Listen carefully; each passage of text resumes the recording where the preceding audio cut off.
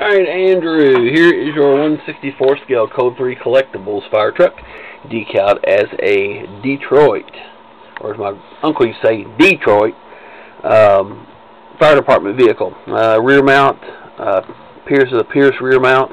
Uh, as you can see, because this ladder is mounted in the rear, I'm assuming that's why that's called that. I'm not too smart, but I think that's I think I got that one. Uh, the ladder does articulate as uh, it should. Uh, it will spin all the way around. I was a little concerned about the um, LEDs that we put on the back platform, but hey, it, it does work. And of course, the ladder still extends all the way out here that far, much further than you can see with my camera. So that still operates. Of course, the truck still rolls. Um, we talked about the battery power. It is uh, with a little wire here, so you can use it on your Christmas layout, Christmas Village, whatever. I think it's Christmas Village. So anyway, that's what we've done here. Uh, the rear, the outriggers also still work, so those weren't disabled in the uh, production process, installation process.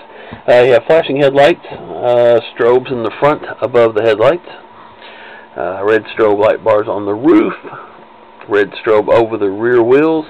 The front wheels I couldn't do. Uh, started looking at it. I think I was going to have to get rid of the chrome trim around the wheel well. I don't want to do that. Uh, we discussed that anyway, so um, I tried. Just wasn't going to work, and it, I just didn't want to ruin the looks of the truck. Um, flat, uh, red strobes on the tail lights, and then also red strobes up top. Both have a nice alternating wigwag pattern to them uh, with a triple strobe, and of course same on the other side. Again, this is powered with a 9 volt battery, and I use these little boxes like so, um, and then just a little on-off switch on there so it's easy enough to operate. Let's turn this bad boy on. Okay. Um, as you can see here, let's do the go to the rear first. I've got the uh, these are triple strobing. There's triple strobes, even though they look like a single flash. Uh, they do triple strobe right here. And as you can see, the right tail light is in sync with the left uh, upper light. Uh, kind of gives them, like I said, again, a little bit of a wig-wag pattern. Like I said, nice triple strobe. Looks really cool in person. Your side is also a triple strobe. My camera is just We should be used to it by now. On the front, there's your flashing headlights and you have the same setup on the front strobes. If I can block these you can obviously see them in person. The white just drowns out the camera a little bit.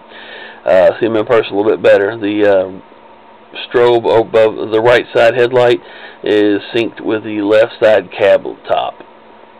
So again, it kind of gives them a um, wig-wag, kind of an alternating pattern there as well. And then, of course, on the other side, you have your strobe. There we go. I appreciate it, sir. Got them all three ready for you. Uh, get it. I will get them shipped out Friday. Uh, get this invoice taken care of, and I'll get it shipped out Friday so you can get them and uh, get them displayed and have them ready by the first. Easy enough. Like I said, you should get them pretty quickly. I will ship them priority mail.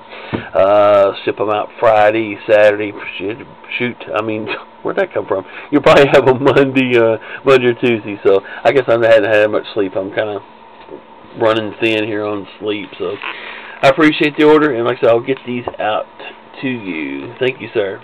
Happy Thanksgiving, everyone.